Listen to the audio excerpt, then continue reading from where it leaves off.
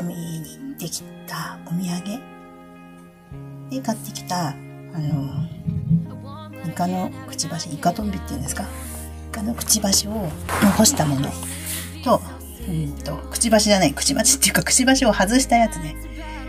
口のところと、あと、珍しい、こう、ひら、大きなエビを開いて干してあった、一夜干しにしてあったものを売ってたので、買ってきました。